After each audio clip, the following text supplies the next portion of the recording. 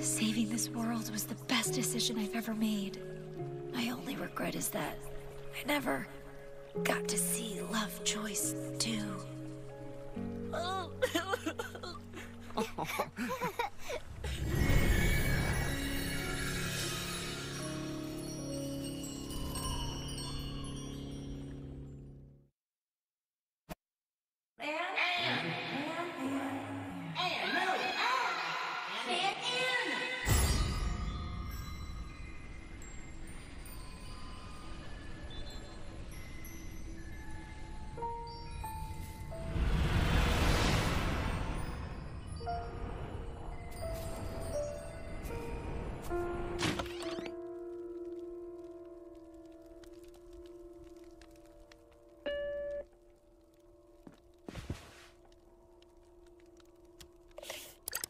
Thank you.